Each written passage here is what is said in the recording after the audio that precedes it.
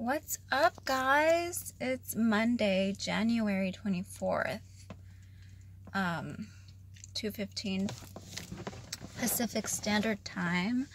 I'm in gym attire, and I'm actually right outside um, Nvision, uh, where I got my LASIK um, surgery done.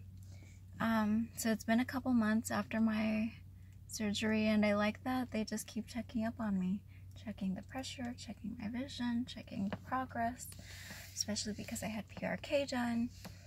So, yeah, um, I can see 2020. I just have to keep maintenance with dry eyes because before surgery, even I had light sensitivity. I still do, and I think this surgery just reminded me how important it was for me to wear continue wearing sunglasses.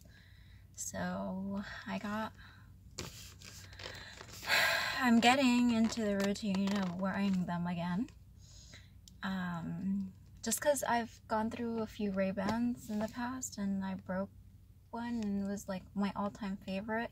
It was like a brown tint with like a gunmetal frame and I can't find those anywhere.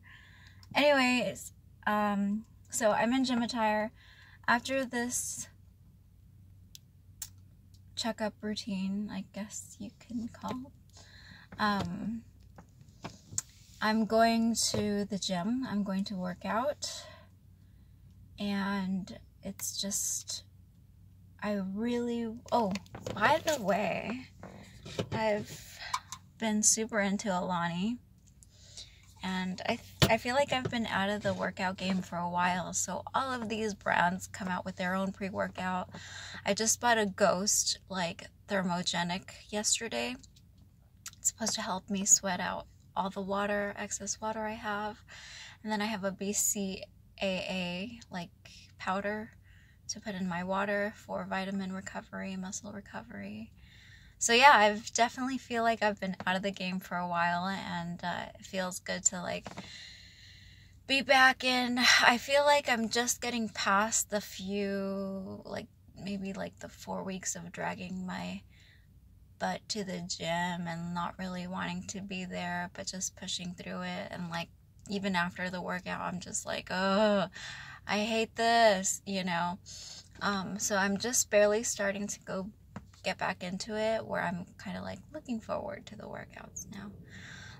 Because um, once you get past that, like dragging yourself into it, you're actually feeling good going into it because you know you're just gonna feel good um, during and after. It just becomes a drug. So, feeling good becomes a drug, and this is one of the most natural ways to get it. Um, but that's yeah, I'm not using steroids. I'm not bodybuilding. I'm not doing anything like that. I think the most I'm doing is just these pre-workout drinks by Alani. And these are targeted for women too because they have biotin in it. They have 200 uh, grams of caffeine or 200. They have potassium, 32 milligrams, vitamin B6, vitamin B12, biotin,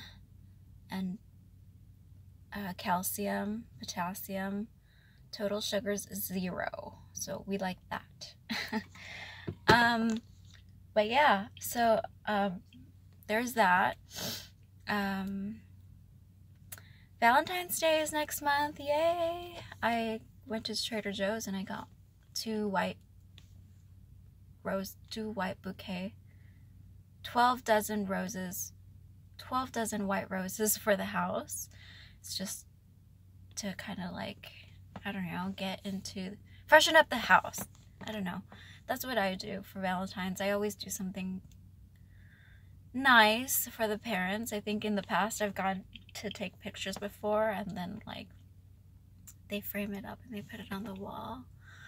Um, and then I get like Hershey Kisses and fill up a jar or something. But anyway, yeah, that's it. I have big news, but I'm not about to share it just yet, so stay tuned.